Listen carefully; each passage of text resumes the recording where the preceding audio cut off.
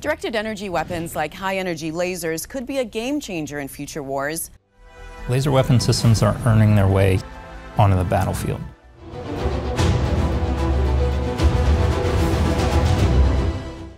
The competition between the United States and China, as well as the innovation that comes from the private sector, is driving the charging advancement of military technology. Drones, artificial intelligence, quantum computing, lasers, and robotics will all become increasingly common.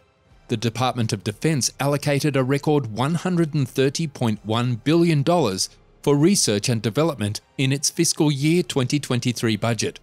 While keeping a close eye on the Ukraine conflict and other global tensions, the military is increasingly focused on technological solutions that could potentially give the US an advantage in the conflict. However, the US Navy recently admitted to having advanced and lethal technology that will send shivers down your spine. What exactly is this technology and how will it be used by the US Navy? Join us in today's video as we unravel the United States Navy's most recent and complex invention. In the 1951 science fiction film The Day the Earth Stood Still, powerful ray guns are shown vaporizing rifles and even tanks. Lightsabers and massive spaceship mounted laser cannons are just two examples of the many types of directed energy weapons depicted in the Star Wars movies. These types of weapons, known as directed energy weapons, are now becoming a reality. DE weapons can take the form of high energy lasers, high powered radio frequency or microwave devices, charged or neutral particle beam weapons, and other similar technologies. Lasers and microwaves are both components of the electromagnetic spectrum, which also includes light energy and radio waves. The wavelength and frequency of the energy is what differentiates the two of them from one another. In spite of the fact that they are both part of the electromagnetic spectrum, laser weapons and microwave weapons function in very different ways and produce very different effects. Think of the difference between a laser pointer and a flashlight. The laser light is coherent in a single color, whereas the flashlight emits broad spectrum light. Laser light, due to its coherence, can remain concentrated for very long distances, even thousands of miles into space. But with laser weapons, instead of thinking in terms of a laser pointer, the mental image should be more like a powerful long range blowtorch. Lasers are classified as either gas, solid state, or a hybrid of the two, the lasers on the current path to weaponization include solid state combined fiber and crystal slab, as well as hybrid lasers. Fiber lasers are lasers in which the active medium is an optical fiber doped with rare elements, most commonly erbium. Slab lasers are a type of high power solid state laser in which the laser crystal is in the shape of a slab. For even greater power and efficiency, hybrid lasers, such as a diode pumped alkali laser, combine trace gas with semiconductor diode arrays. The destructive power, lethality of directed energy weapons is determined by the amount of energy transferred to the target over time. This concentrated energy has the potential to have effects ranging from non lethal to lethal. Lasers, for example, can cut through steel, aluminium, and a variety of other materials in a matter of seconds, they can be very effective at causing pressurized vessels, such as missile propellant and oxidizer tanks, to explode. They have the ability to destroy, degrade, or blind many other systems with sensors and electronics. The lethality of high energy lasers is determined by the laser's power output, the purity and concentration of the light, beam quality, the target range, the ability to keep the laser on the target aim point, jitter control and tracking, and the atmospheric environment through which the laser travels to the target. However, for the first time, this technology was successfully implemented in 2020. The US Navy used a directed energy weapon, in this case a laser, to successfully stop an anti aircraft while it was in flight. The Navy later issued a statement describing the laser as efficient and effective in defending against enemy drones or small armoured boats, the Navy's Pacific Fleet, understandably, did not specify where this laser weapon system was tested, only that it took place somewhere in the Pacific on May 16, 2020. Despite the hazy descriptors, images and videos have been released showing the transport dock ship USS Portland using a high energy class solid state laser to take down a drone in midair. During another demonstration, the Laser Weapon System Demonstrator, LWSD Mark II, aboard Portland successfully engaged a static surface training target. The lone LWSD was installed on Portland in October 2019 and it was turned on for the first time in December of the same year. After that, in August of 2021, the Portland was sent out to serve in the Indo Pacific and Central Command areas of responsibility. The 150 kilowatt LWSD is mounted on the Portland superstructure and is linked to the ship's Combat Information Center, where a control console is installed. The system's tactical laser core module was built by Northrop Grumman, while the energy and thermal storage modules were built by the US government. Directed energy weapons have been in development since the 1960s, and they are now being put to good use, though only time will tell. While the hopes and aspirations of this specific directed energy laser are currently those of defense, who knows what this technology will be used for in the future. But this was not all, as threats to Navy vessels continue to grow in the form of drone swarms and anti ship missiles. After decades of testing, the Navy is nearing a low cost solution for deterring and defending against aerial threats at sea.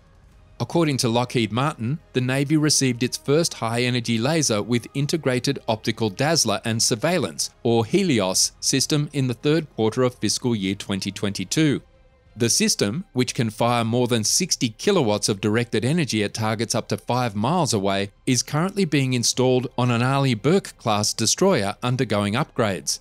Helios is part of the Navy Laser family of systems, a group of platforms that the service sees as the foundation of an incremental strategy for increased laser weapon capability, according to budget documents. In the proposed budget for the year 2023, the service requested approximately $35 million for the family of systems. This is the year in which the first system is anticipated to become operational at sea. This new technology offers significant improvements over previously available systems and options for defending against unmanned aerial vehicles and anti ship missiles. Surface to air missiles and Gatling guns require a certain amount of magazine depth on ships. Additionally, these weapons have poor cost exchange ratios when used against low cost drones. Furthermore, reloading Navy surface ship magazines necessitates the vessel travelling hundreds of miles over several hours to reach a safe zone. An adversary like China has access to a large number of UAVs and anti ship missiles, and Beijing has a high capacity for producing more. According to officials, this could limit the Navy's ability to defend itself affordably. That is one of the issues that Helios is intended to address. According to Lockheed Martin, the system is designed for continuous operation using available ship power rather than adding another energy magazine.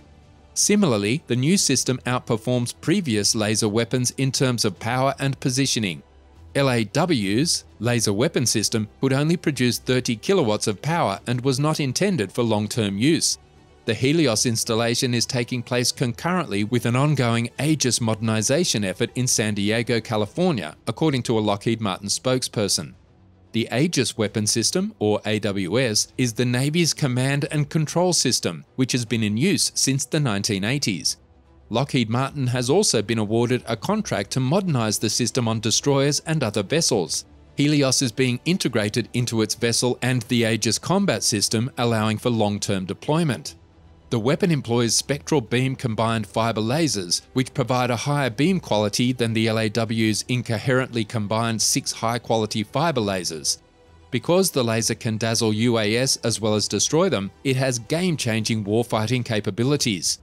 According to a white paper published by Lockheed Martin last year, the system has demonstrated its ability to repeatedly hit a high speed target at tactically extended ranges.